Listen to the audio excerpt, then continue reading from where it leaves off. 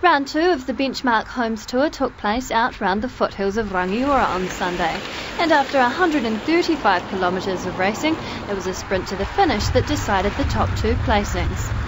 After dominating round one with a 1 2 finish, the Subway Avanti cycling team looked to extend their lead on the competition with the first significant break of the race coming when Subway riders Hayden Godfrey and Joseph Cooper and benchmark Homes rider Daniel Barry made a break on the field. However, they were eventually caught by the peloton.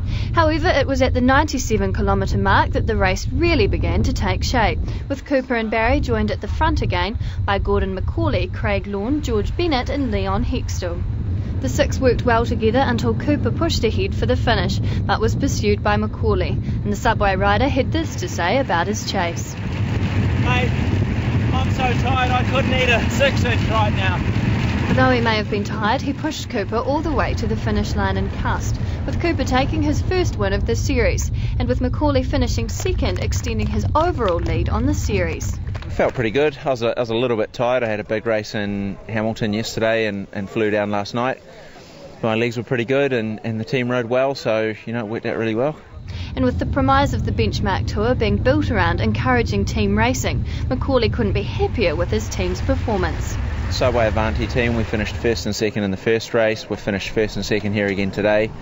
I've held the lead in the series and, and maybe extended it a little more as well, so so that's all good and he's hoping to make up for what he regards as a disappointing result last year. I lost the uh, the benchmark homes tour last year by one point.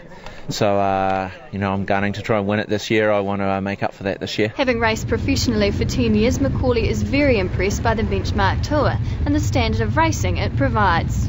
Oh, it's really good because it's the only real team based racing in New Zealand.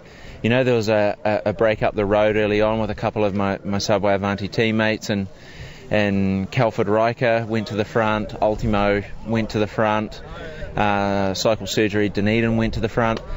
And you don't normally see that in New Zealand racing, so it's actually bringing the standard of, of racing up to a European standard where people actually race as teams and race for a team leader or, you know, race for the best guy in their team on the day.